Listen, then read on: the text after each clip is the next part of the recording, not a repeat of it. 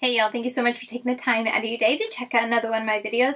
Today I'm super excited to be sharing with you guys a multiple looks plus review of a new palette from Midas. This is the Midas Cosmetics and the BasicB's Perception Palette. Now this is in collaboration with another influencer, the BasicB. I will leave her link down below, but this is the palette she did in collaboration with Midas Cosmetics and I received it right around the launch day, but I haven't been able to film until now because I've had family in town, so I decided instead of doing like a first impressions or anything like that, I'm to bring a multiple looks video to you guys and share with you guys a full in-depth review on this palette right here. In case you were looking at it, considering it, and would like to hear my thoughts on it, we can get right into it. And then of course, multiple looks for you guys to get inspiration on the types of looks that you can create and all the looks that I created, or most of the looks that I created with this palette. So yeah, if that sounds interesting to you, let's go ahead and just jump right into it.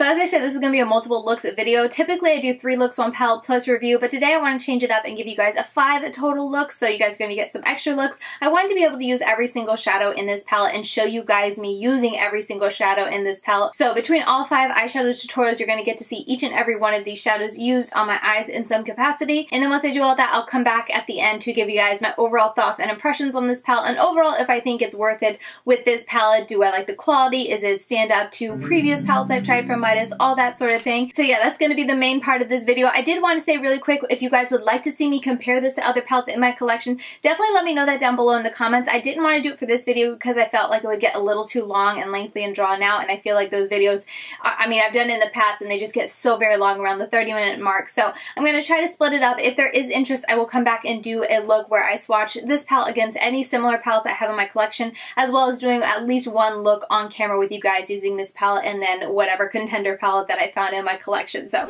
let me know your thoughts. I do know that the biggest one that came to the top of my mind was the Club Nebula palette, which is also an influencer collab palette. I thought that was kind of funny. But this is from Kaleidos Cosmetics. It was in collaboration with Angelica Nyqvist. And I don't know, I feel like there are a lot of those bright colors that stand out and then a lot of the shimmers because they're more of a uh, like a sheer-ish type of shimmer that's super sparkly. Also, I do see a lot of similarities. So that's definitely the one that's at the top of my mind. But if you guys are interested in seeing that video, I'll definitely go through all the palettes that I have back here and make sure there aren't any other ones. And if there are, I'll be including it in that video. So that's going to determine on how many comments I get down below in the comment section. So if you do want to see that, make sure you leave a comment and say that you do, and I will get to it super fast or as fast as I'm able to. So yeah, with that said, I think we can get go ahead and jump right into the tutorials. If you haven't ever seen one of my three looks, one palette type of videos, I do want to go ahead and like let you guys know in case you are someone who tends to pass over them. I like to give a lot of reviews on the eyeshadows specifically when I do my tutorials. So instead of just saying like, hey, you know, I'm putting this shade here, that shade here, I try to go a little in depth on how the shadow, that specific shadow work for me as I'm using it in that eye look. So if you like those type of reviews where it gets really nitty gritty, you'll be able to hear my thoughts on every single one of these shadows in this palette. But yeah, let's go ahead and break over and do that. And then when we come back, I'll give you guys my overall thoughts and reviews as well as swatch this out on camera for you guys. All right, so jumping right in, I am taking that life shade and I'm packing that yellow into my crease. As you can see, it's a little bit of a sheer type of yellow, but since I went on and pressed it on first and then started to blend, I feel like it, you know, built up nicely and I was happy with the pigmentation that I was able to get. Following that up, I went in with open mind. I was so excited to try this shade. Again, a bit of a lighter or like a thinner shadow, like it's a very thin shade. So you can see that at first I started to blend and then I noticed the thinness, so I started to pack it on a little bit and press it in before going on and blending it, and that works best. Moving on, I'm taking Restless and I'm packing this on the outer corner. As you can see, it's very nice and pigmented, a very dark color. So again, you know, the shade itself I would still describe as a thinner type of formula. Like the formula itself feels and appears on your eyes pretty thin. However, the shade is nice and pigmented and packing it on definitely helps it stand out and like you get the most out of the shadow packing it on. Moving over to the shimmers, I decided to take Psych or Psyche and I packed that on my inner corner. This is a more transparent type of topper shade, so you could put it on very kind of, you know, just very uh, sloppily and just press it around and get more of a scattered kind of uh, reflective look. But I wanted to get as pigmented as I could get it with this shade, so I'm packing it on with a very dense brush and take, and you can definitely get there. It's gonna still have a little bit of a thinness to it, but the color itself, because it's such a beautiful kind of iridescent, maybe even dual duochrome, multichrome or something, it builds up nicely and is very blinding as you can see as I move my head around. It is a very blinding shadow, so very beautiful. Next up, I took Motive and I'm packing that on on the rest of my eyelid. I just wanted to see what these two would look like together. And as you can see, I started to do it just with the brush, but it was, I don't know, just taking a little bit too long. I decided to just take my finger and pack it on. That was definitely the way to go. And this shade itself, it is a lot more pigmented. It has more pigmentation to the color itself than the previous shade did. Moving on to my brow bone, I'm just taking Reality and I'm uh, just kind of setting my brow bone with it. This shade is a very thin white. Uh, it's definitely one that if you really wanted to stand out and pop, you'd have to really pack it on and give it a white base. But for the purposes of cleaning up my brow bone, it did the job just great. Moving to my lower lashes, I'm just putting a little bit of that dark green and smudging it right against my lower lashes and then taking the bright green Open Mind and blending and kind of diffusing that all out. And then for my inner corner highlight, I went ahead and used this highlighter by Natasha Denona. And that is going to be the final look. And overall, I really love this look. You guys know I like a good green look. The green and yellow combined are definitely a favorite of mine. And I was very happy with how easy it was to get the look. As I said, the shadows themselves, the matte shadows are a very thin type of formula. However, if you go on with more pecking motions, I had no issues working with these shadows and I was very happy with the final results. And the shimmers themselves are beautiful. I feel like there's not a huge difference between Motive and Psyche, but that is the only complaint I have with the shimmers. They're gorgeous and they held up so beautifully on my eyes. I was very happy with the wear time. And jumping right into the next look, I'm taking that orange matte and I'm packing that on my inner corner. And I'm just taking some time to build it up to the intensity and pigmentation that I like. And this shade I feel like is very bright. This is going to be a theme with all the mattes in here, but the formula itself is very thin. However, the pigmentation of the shadows is very nice and they're easy to work with. Moving on, I'm taking that next shade and blending it on the outer corner. This shade is a lot darker, so I feel like it just, it was a lot easier to stand out. Again, a thinner formula, a thinner shadow. There's not like a butteriness to them, but as you can see, it's nicely pigmented and it blends out really well it blends into other shadows really well. Very happy with that shade. And then following that up, I'm taking that next shade, Implode there, and I'm packing that on my outer corner. And look at how beautifully dark and pigmented this shadow is. It is so nice, so deep it almost looks black. However, paired with this look, you really do see that plumminess of the shadow itself coming out. And as you can see, the color itself is very intense. However, it blends out very nicely, and I was very happy with how effortless that blend looked, going from such a dark shade to my crease shade, which is a much brighter color. For my shimmers, I decided to take that shade Deep Space, and I'm packing that on the center center of my lid. This shade is a little bit of a subdued type of shimmer, at least it looks very much so in the pan, but it definitely looks a little bit more unique and special on the lid. And anyway, for the inner corner, I decided to take Quantum there and I'm packing that on. This is a very chunky shade and I had a lot of difficulty getting it on my lid without it just kind of falling everywhere or just not really wanting to stick. I kind of had to really pack it on my brush and, you know, put a lot on there and then just kind of smooth it out from there because trying to do it little by little to kind of, you know, prevent fallout wasn't working. It was taking way way too long and wasn't really wanting to stick and transfer. So that was definitely a way that I got it to work. Anyway, moving past that, I decided to not do a wing liner. So I'm just taking that darkest shade and creating a kind of a faux wing with the blend. And then moving to my lower lash line, I am taking that same shadow and just smudging it right against my lower lash line to get it nice and dark. And then following that up, I'm taking that infinite shade and I am blending that right along that darkest shade and just kind of, you know, bringing some lightness to that dark shade and blending out the darkest shade. This shadow works beautifully, had no issues with it. And for my inner corner, I'm taking Psych again and I am blending that into my inner corner and this is such a beautiful inner corner highlight. But yeah, that is going to do it for this second look. I really liked how this one turned out. I wasn't really sure. You guys know I'm not into pinks and purples, but I was definitely a fan of this look and it was so much fun to wear. And then as far as wear time, I had no issues whatsoever. There was a little bit of transfer up into my crease, but honestly, not a whole lot. It was very minimal and you know, besides that, no creasing, no fading of the shimmers, no fading of the mattes. All around, very, very pleased with how these performed. All right, so for my next look, I wanted to embrace the neutrals, and so I'm taking that shade right there and I'm blending that all into my crease and just kind of building it up and blowing it out. I wanted this to be a very soft, like I said, I'm going for very neutral. This shadow itself, I did start out kind of light-handed because I wasn't sure how intense I wanted it to get, but it definitely took a good amount of building to get it to the intensity that I was looking for. And then once that was on, I followed that up with natural on a really tiny detail blending brush, and I'm packing that right in. This shade is very dark. Like I went in with just a light hand to pick up some of it, and boy, like you see that pigmentation right there.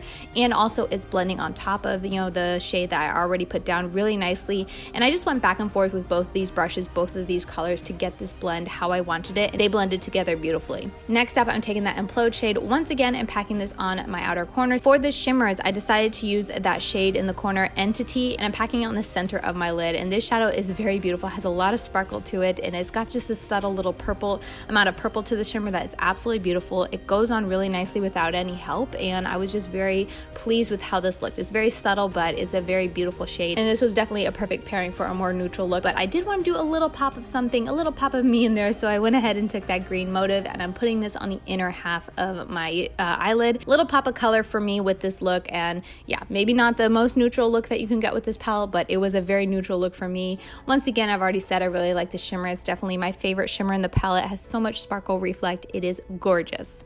Then just for my lower lash line, I'm taking that Implode shade again and smudging it out. This tends to be what I feel like my lower lash line is always so boring to watch. But anyway, smoke that out right against my lower lash line. And then I'm taking that first shade that I used and just using that shade to buff and blend out the deepest shade that I put right against my lower lash line. And this worked really well. It was very easy to get it to kind of buff and smoke out. For my inner corner, once again, using that duochrome monochromatic. I don't know what type of reflect it has, but it is gorgeous, whatever it is. And I'm putting that for my inner corner. And that is the look. That's the most natural look that I created with this palette and I thought it was really pretty.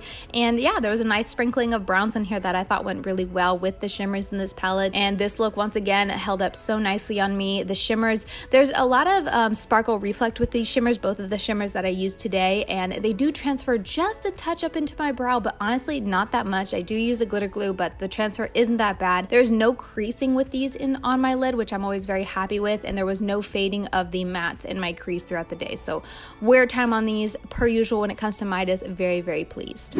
Okay, next look, I wanted to start using those pinks and I took Evolve and I'm packing this and blending this into my inner crease area and I'm using it on a fluffier brush and as you can see, it has no problems, you know, showing up and standing out.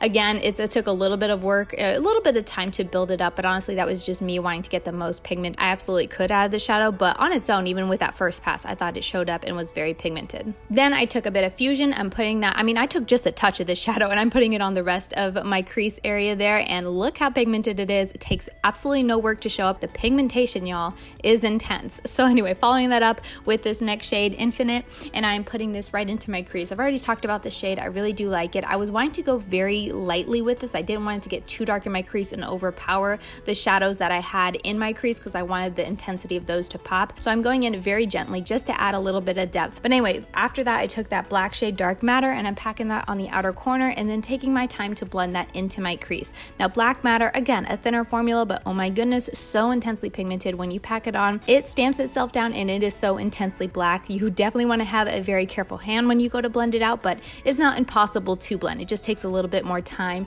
and a little bit more care when you're going in to blend it out. So once I had that blended into my crease, I went ahead and cut my crease with a concealer because I wanted to do an all matte look, which I thought would be a lot of fun with this palette because there are so many mattes. So once I had applied that and kind of cut my crease, I tapped it out so it wasn't like too sticky wet and there wasn't too much product product. And then I'm taking that yellow shade Life and I am packing that on the inner half of the lid shade there and just stamping it down to make sure it's nice and bright and pigmented. I didn't want to use a white base because I kind of wanted to see how these shadows would, you know, work and appear on just a skin, my skin tone. So that's why I decided not to use a bright white, but just keep in mind it could probably look even brighter if I did use a white. But anyway, once that was stamped down, I went into the Open Mind, once again that green, and I'm placing that on the rest of the lid shade and just kind of taking some time to blend the two together. And when I blended into the yellow and into the black, it was a very easy transition to get. I just kind of went back and forth with the brushes until I liked the blend between all three shadows. Moving to my lower lash line, I took a little bit of that black once again and just blended it in. I'm sure it's getting so boring by now, but that's what I always do because I always put black on my waterline.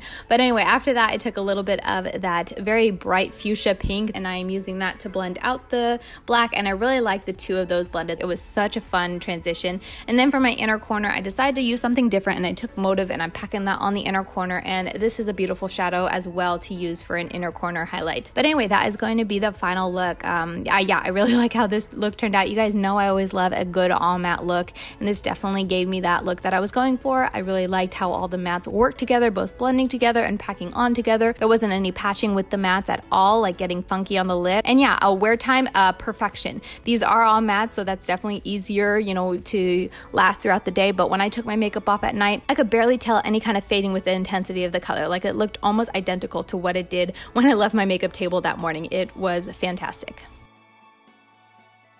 All right, for my last look, I'm gonna go into that purple shade Curious there, and I'm packing that on my inner corner. This shade, again, a little bit thin, a little bit of a softer shadow, so if you're someone who doesn't like too much intensity, this is definitely one of those colors where if you went in very lightly, it could give you one of those almost like barely there, almost like a pastel type of purple, but I still got it to build up to the color that I was looking for. So moving on, I then went into Perplex, and I'm packing that on my outer half and just, you know, spending some time to mesh the blue and the purple together until I liked how it looked. This Perplex, again, is just like the purple. I feel like these two colors could be used as pastels very easily because they're both, not only are they thin shadows, but they're both a little bit more lightly pigmented, I felt like, than some of the other more bright neon type of colors. Moving on from there, I took that really bright blue Inspire and I am putting that into my crease. In hindsight, I kind of wish that I would have put this down first and then done the other two on top of it just to help with the blending because it did take a little bit of extra time to kind of work this in because it's such an intense blue. And then with the other blue in the crease and the purple in my crease being so light, it just took a little bit more time to get the blend that I was going for than I think if I did it in the reverse order and did the darkest first and then blended the light on top. But hindsight is 2020. Moving on, I took dark matter that black and I'm packing that on the outer corner.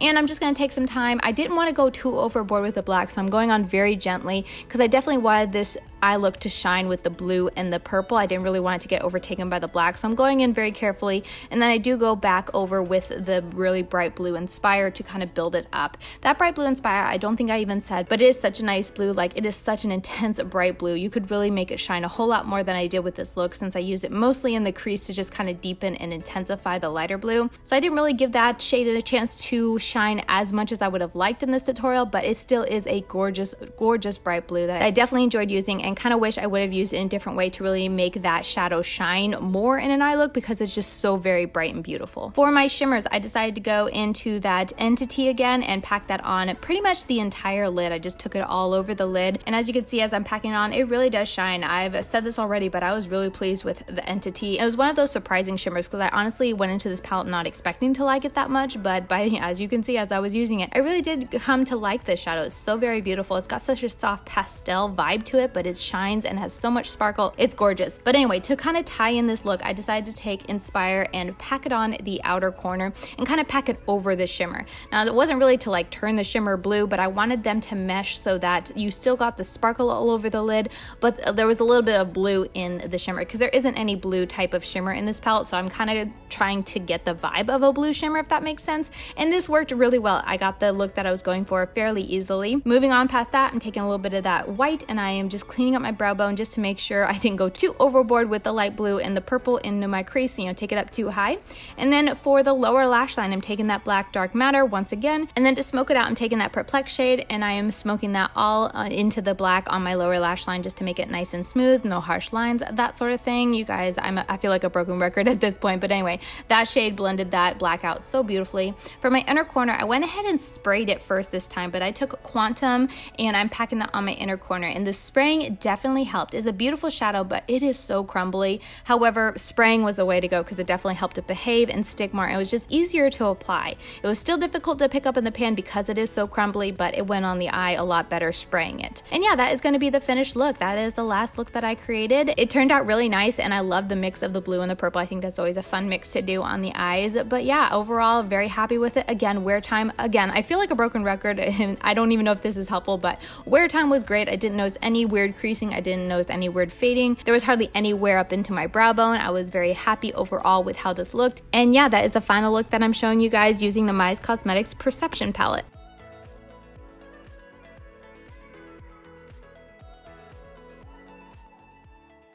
All right, so those are all the looks. Per usual, I love to hear which one is your favorite. It's so hard for me to pick a favorite, especially with this palette. I have been so inspired every time I open this palette. I'm like, oh, I could put this together, I could put that together. So I really can't pick a favorite. Let me know if you're able to. I feel like all the looks are really fun, very vibrant, and even, you know, with this being so colorful, I was still able to get a very neutral look. I definitely wanted to throw that in there in case you are someone who, you know, sticks to more of the neutrals. They do have enough neutrals in here where I feel like I got a very, at least for me personally, I thought it was a pretty neutral look. But yeah, let's go ahead and move over to the overall thoughts and and impressions on this palette and kind of summary of my review. And as I get into that, I'll also just put over the screen me swatching this palette live on camera so you guys can see as I chat. But yeah, as we get into it, I do want to say that I'm not familiar with the influencer that she collaborated with or that Midas collaborated with, so I'm sorry that I didn't say anything in the beginning. I should have addressed it in the beginning of this video, but I'm not super familiar with her. I'm following her now. She does gorgeous looks. She is absolutely beautiful. All the looks she did with this palette are absolutely gorgeous. She did a great job putting the color story together. It's got a lot of very fun aspects to it. A lot of, like I said in the beginning, I'm just so very inspired every time I open this. Each time I did a look, and even though I've done five looks, I still want to continue on and do more looks, and I think that's always a good sign when it comes to a palette that you open it and you still, you're just so excited to do more. And I think another aspect to this palette that I also find very unique and special and just inspiring for me personally is that there's so many bright colors, but there's also a good amount of deep colors and not just a black, there's a deep green and a deep red. And that gives you the ability to add lots of depth to these colors. So if you're someone who doesn't want to go all out and super vibrant with their colors, they can blend in a lot of these deeper tones and really get a lot of depth and just almost subdue it a little bit. I definitely noticed that was something I was able to do is to, you know, smoke out my outer corner, but also bring that dark color up and around and mix it into those very vibrant colors and kind of tone it down so it's not like neon-ish in your face, that type of thing. As I've already said in the tutorial, the brighter color mattes are relatively sheer, like sheerer than I like them to be. I wish there was a little bit more intensity, but as you guys saw throughout the tutorials, if I focus more on packing it on and then lightly blending after it was packed on, I didn't notice any, any like sheerness or thinness to the shadows, but that was definitely just a learning curve as I started diving into these, specifically the brighter tones. I didn't really notice it too much with the deeper tones, but these more vibrant, very bold colors I felt like looked a little sheer if I kind of just blended them in. I really wanted to pack them on to get the intensity and just the, the thickness, I guess you could say, that I like in a shadow. So definitely something I noticed overall with this palette is that the brighter tones looked a little thin. But yeah, overall the shimmers I really did like. I was not a fan of Phantom. This, or no, Quantum. Sorry, Phantom. Quantum. This one, it, as I've already kind of gone into it, it's very flaky and whatnot, but besides that, oh, they're very nice shimmers. The shimmers are workable. You know, not all of the formulas are my absolute favorite, but they're very nice and they add to the palette and I do appreciate them being in there. But you guys know me, I tend to be where the mattes are. That's kind of what the focus is whenever I look at a new palette. So for me, with this palette being so heavy on the mattes, I had a really great time with it and overall, I think it was a great mix. Like, I don't know if I would have ever seen this palette to put it together or I could have ever put put this palette together, but having it here, having it in my hands and creating looks with it, it's very inspiring. It's very colorful, but you have those deeper tones and those neutrals that you can stay fairly safe in, I feel like. And it's also really nice size. Like it has a lot of shadows, but it's not too incredibly large. The decoration, the packaging is absolutely beautiful. It's on the front and the back. I didn't even mention this in the beginning, but it is so beautifully done. I will say I do wish the perception was maybe just, I don't know. I like how it is just kind of a phantom where you have to hit it just right in order to see it. I think that's a cool aspect. However, when I'm actually using it, it is a little hard even in person to be like, okay, what is it called? Okay, perception.